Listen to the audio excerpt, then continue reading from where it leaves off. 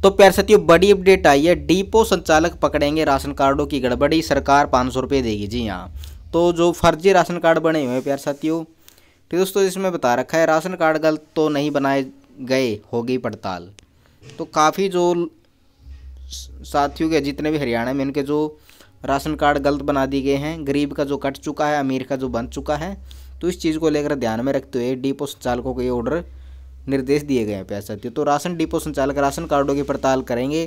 Card नियमों के विपरीत मिले तो विभागीय मुख्यालय को जानकारी देंगे। इस पर सरकार प्रति कार्ड पाँच सौ रुपये प्रोत्साहन स्वरूप देगी। खाद्य नागरिक आपूर्ति एवं उपभोक्ता मामले विभाग ने यह व्यवस्था की है। नागरिक संसाधन सूचना विभाग ने कहा है कि डिपो धारकों के सत्र पर राशन कार्डों के संशोधन से संबंधित समस्याओं को ईपीडीएस पोर्टल के माध्यम से दर्ज किया जाए। डिपो एसोसिएशन के प्रधान कन्हैया कुमार ने बताया कि विभाग का पत्र मिला है। सबसे पहले पड़ताल की जाएगी कि बीपीएल व ए वाई राशन कार्ड गलत तो नहीं बनाया गया है। और संबंधित परिवार की वार्षिक आय वास्तव में एक पॉइंट अस्सी लाख रुपए से वार्षिक से अधिक है, लेकिन स्थानीय समिति के सत्यापन के कारण एक पॉइंट अस्सी लाख से कम सत्यापित की गई।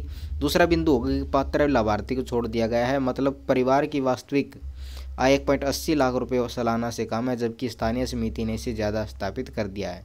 जिससे राशन कार्ड नहीं बन सका, विभाजित परिवार को लेकर डिपो संचालक पड़ताल करेंगे कि वास्तविक रूप से परिवार के सदस्य एक छत के नीचे रह रहे हैं, लेकिन लाभ प्राप्त करने को वह कभी कई परिवारों के विभाजित हो गए हैं। डिपो धारक दोनों परिवार की आईडी दर्ज करेगा। तो प्यार से तो इन्फॉर्मेशन आई थी। आपको पूरी जानकारी कुछ समझ में आ गई तो मिलते हैं नेक्स्ट वीडियो में। जय हिंद, जय भारत।